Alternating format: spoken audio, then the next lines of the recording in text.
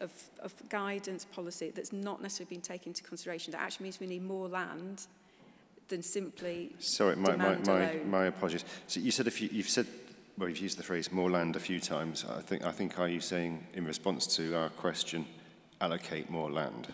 Yes, please, sir.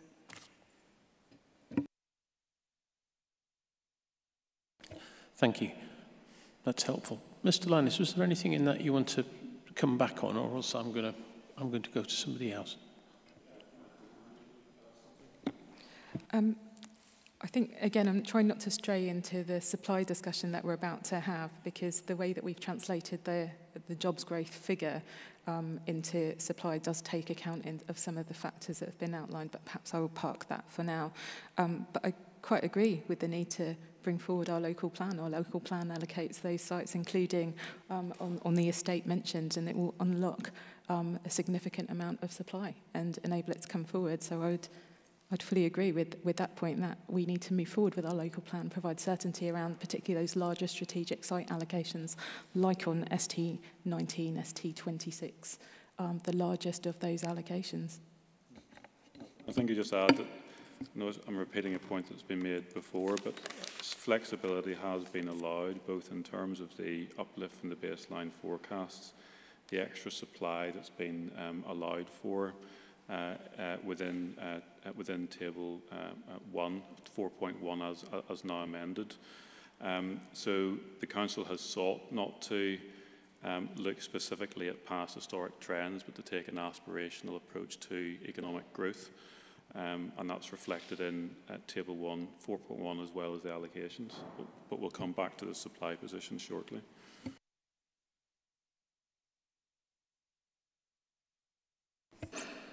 Thank you. Um, who would like to go next? Mr. Chapman, go on. Thank you. I uh, just want to make a couple of points. Firstly, in relation to economic growth prospects in York, um, because it is worth noting that we do have data on how the economy has performed since uh, the Brexit vote and since these forecasts were produced, and it's performed very well, well above. Um, so this is this data is referred to in, in our hearing statement. Um, but ONS's data uh, suggests that in the last, well, since the Brexit vote, since 2016, uh, York has created 7,000 new jobs, which is well above a rate of 650 uh, new jobs per annum. So I suppose the key point is important not to be too gl gloomy about the long-term prospects for York. It's got a number of economic strengths. It's a highly skilled labour market. It's a very desirable place to live, all of which are very you know, significant strengths um, in a sort of post-COVID world. Um, but the, the second point I wanted to make was, um, and it's been made by a few people already, but I think it's really important, um, is that this is based on one approach, one economic forecast that was produced in 2016 and no other evidence. I, I appreciate the council has said that they have considered market signals as well, Um, but I can't find that anywhere in the employment land reviews in the 2016 or 2017 employment land reviews. Um, I saw one page um, uh, which looked at the employment land market, but no analysis of market trends, no feedback from agents or analysis of occupier requirements. So the figures ultimately boil down to one forecast, and I'll explain, using a, as an example, the flaw in that approach. If you take the retail sector as an example, any employment forecast that's been produced in the last few years, certainly all the ones I've looked at, have said that jobs in retail are declining. But we know that what's actually happening in retail, so if you just use that in, in a standard employment land model, you would say retail is actually is not generating any new demand for employment space. It's actually demand is falling. But we know that within the retail sector, there's a lot of structural change going on. So yeah, the number of jobs in shops might be in decline, but the number of jobs in warehouses is going up and up uh, because of the, the move to online shopping. Those types of structural changes within sectors are completely missed by a standard employment land forecast, um, a sector-driven forecast model approach that needs to be combined with more qualitative evidence, market evidence, Um, it includes feedback from agents and speaks to local businesses and looks at how, you know, how the market is changing. Without that, I can't see how you can pin everything on uh, uh, figures that are based on a very out-of-date single forecast that has a number of flaws.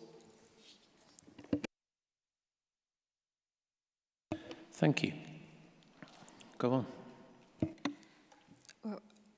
I've taken you through the various points at which we have sensitivity tested that forecast, um, including since submission, so I won't, won't revisit that.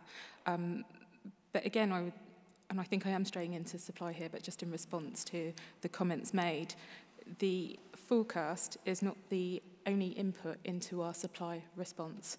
Um, we highlighted uh, before, you will see that there was no forecast demand for B2 floor space. B2 floor space is reflected in EC1, reflecting exactly the kind of engagement that we've set out in our um, Employment Land Review 2016, Section 4, which was referred to. So those market signals have been taken into account um, alongside those projections in defining supply. Um, just um, to deal with the ONS point, I'll just uh, invite my colleague to expand on, on, on that.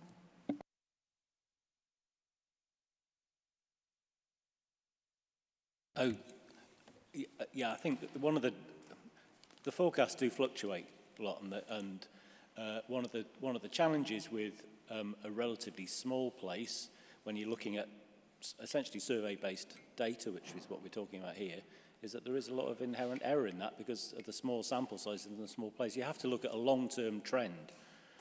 It's, you, know, pick, you, could, you can pick various dates over the last 20 years and show very different year, rates of jobs per year, depending on which endpoint and at which start point you take. But if you take a long-term trend, um, which is what we've been sensitivity testing against, it, it shows that actually the underlying figures that we, we use do reflect what's happening in the long term um, in the economy. The, the forecasts, yes, don't... Um, uh, uh, uh, uh, uh, the, the 29 figures were um, when all the, the legislation was set out for Brexit, before it all been enacted, um, and before um, COVID happened, and we've had a, a, a two-year freeze in the economy through COVID as well. So the, the, the forecasts will change. They are forecasts. The, the data published by ONS, although it sounds like it's must be right because it's ONS and it's government, they themselves survey-based figures, and you know you have to be careful about picking particular end dates and particular start dates because you can show really whatever you want to from those statistics uh, in terms of what the upward trend is.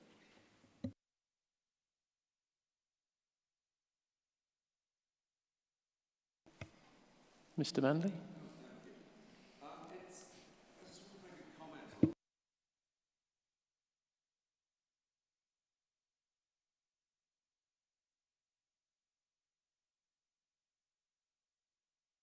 I do apologise. I, should, I should know how to do that by now. Um, to give you an example, in terms of the baseline or scenario two figures, um, the evidence presented in the forecasting uh, calculates 480 jobs in total between 2017 and 2038 in education. That's to say 20 jobs per annum. In reality, the university between 2017 and 2022 has created 700 full-time equivalent jobs in the sector classed as education jobs. So there is a massive disconnect between what is going on at the university and what is assumed. And you need to understand that the university does actually account for over 4,000 of the 12,650 jobs in York classed in education. So it's a very big player. And, it can, and its activity can have a significant bearing on job creation, job forecasts, and so on. The other area of concern about these figures, the 650, is that there's an identification within that 650 of 46% of the jobs being professional, scientific, technology and admin and support. And Mr Brereton told us actually a short time ago that they're looking to grow those sectors. They're looking to grow high value jobs. Well, again, the university has a science park on the West Campus, which is full. And since it got its Secretary of State's consent in 2007 for the East Park campus, it's put 130 incubator and startup businesses on there. It's a massive attractor of inward investment and jobs. I don't know how that 650 figure in any way relates to an understanding of the way the university, which is a huge player in terms of what this authority is trying to do, no idea at all how it relates back to the university. And I can say with some confidence, see if I'm challenged on this, that nor do the authority, because they've never once sat down and spoken to us about it. We've tried repeatedly to engage, and they've never asked us what we see as our growth program, what we see as the job creation potential in education, R&D, and all those other related things. So leaving aside my site-specific point, which I know you don't want to hear about, what am I asking you to do otherwise, sir? I'm asking you to tell them to talk to us, because at the moment they're flying blind when it comes to the university.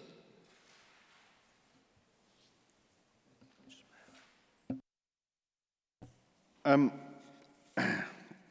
in terms of the council's um, positive and proactive um, approach to economic growth, does that include the university? I'm also intrigued to know how the 650 figure relates to the university, or whether the university is treated separately in some way. So I'll ask uh, uh, others to deal with the latter point. As far as your first one uh, is concerned, uh, I think in general terms, yes, the, the positive approach to growth um, does apply to the university as far as the council is concerned, and that's reflected in the uh, allocation that's proposed within um, EC1.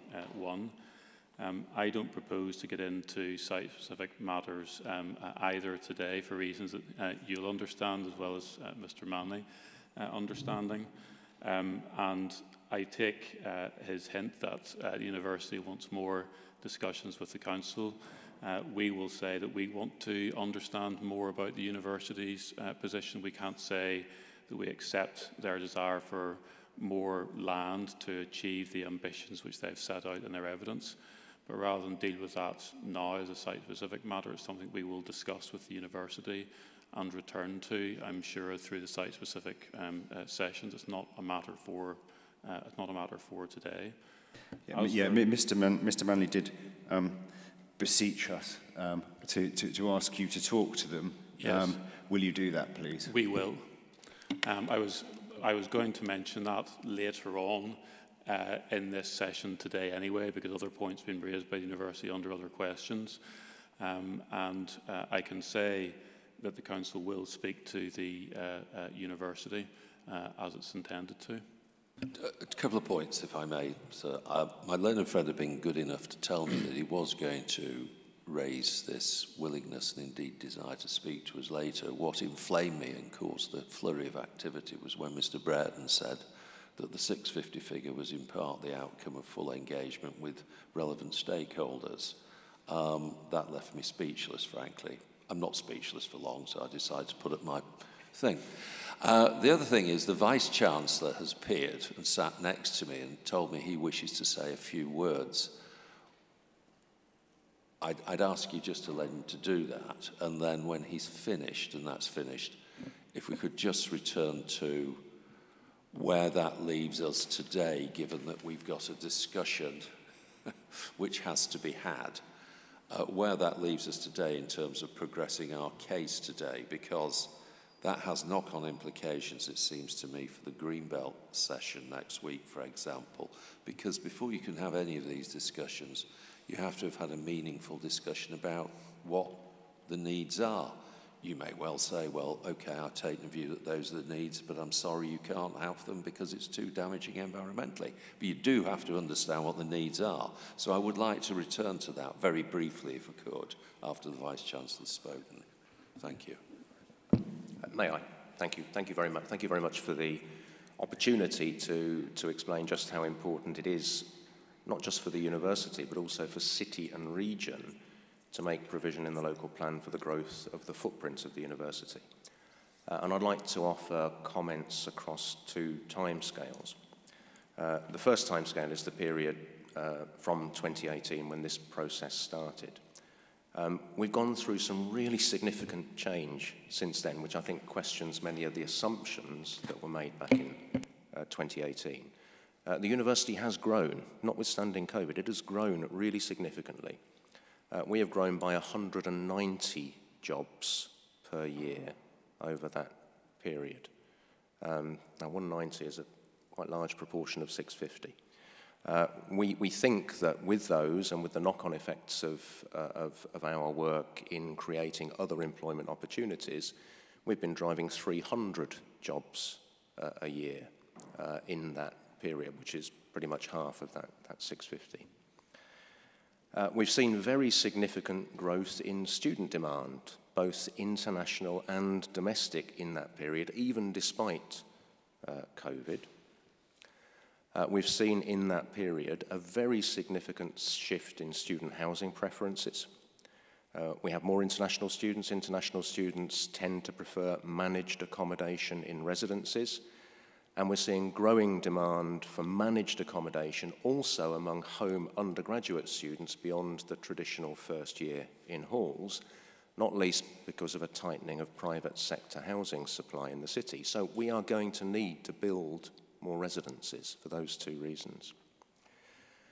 Uh, in the intervening period since 2018, we've, we've developed a new university strategy through to 2030. The first sentence of that says that the University of York exists for public good. Uh, we have a number of areas where University of York research is at the global forefront, addressed at some of the world's biggest challenges. Bioeconomy, fusion energy, robotics and autonomous systems, digital creativity, new communications technologies, green chemistry, mental health. Uh, we are developing new ideas and new technologies for public good, and we need new facilities so that we can maximize the benefits to our society from that. And there's a wider significance too. All of those things are magnets for economic opportunity for city and region as we work with both public and in particular private sector partners to develop commercial applications. You heard from, from our QC a little about the business incubation activity that we've engaged in in the last few years. Beyond that, it's really striking how our science is at the heart of a range of economic development initiatives we're working on very directly and very closely uh, with the City Council and other public authorities in the region. Uh, there's currently a bid to host Great British Railways on York Central. Uh, we're currently in discussion with other potential anchor tenants at York Central, the biggest economic development site uh, underway in the, in the UK uh, at the moment. Uh, and all of that rests on, very directly on, the university's research strengths. Uh, you may have noticed that, that Goole, just down the road, a few miles down the road, has been shortlisted as a potential site for uh, an experimental UK fusion power plant. That's happened because of the fusion science that we do at the university. And if that comes off, that will bring billions, I mean literally billions of capital investment and all the knock-on uh, supply chain effects into this uh, region. It's going to create a lot of employment if that uh, comes off. Our bioeconomy expertise is at the heart of this region's devolution deal uh, plans as presented to government by the City of York Council uh, and North Yorkshire County Council.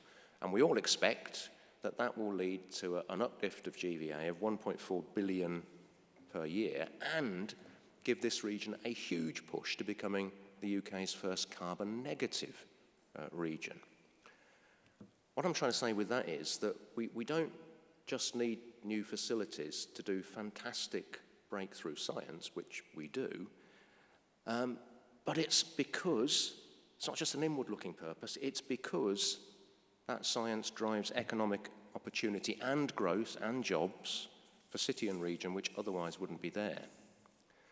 Now, our, our estimate is that the University of York currently generates around about 2.5 billion pounds per year of added value through its presence, through its research, through its students, with about one third of that uh, uh, recognised directly here in the City of York. What I'm saying here, there is much, much more to come. Uh, all of that, I think, is change since 2018. My second timescale is one which extends uh, over the next few decades. Uh, my responsibility is to think about the long-term needs of the university long after I will have retired. Now, after um, the current situation is that after growth in the last decade, we have very little further development space. We are almost full. Our capacity to repurpose our older facilities is highly constrained by extensive listing both of buildings, but in particular of landscape, which really impacts on the development possibilities. And there are a range of other planning restrictions which limit what we can do. Now, those constraints are balanced to an extent by some of the lessons we've drawn through COVID about how to work differently, which I think will reduce the square meterage we're going to need in future per employee. But that's not going to outweigh the growing demand for managed student accommodation, nor the need to invest in new facilities to address social challenges which affect us all and open up economic opportunity for city uh, and region. So the need for additional expansion space is pressing, and I think the wider benefit to city and region is clear. Uh, one last comment, if I may.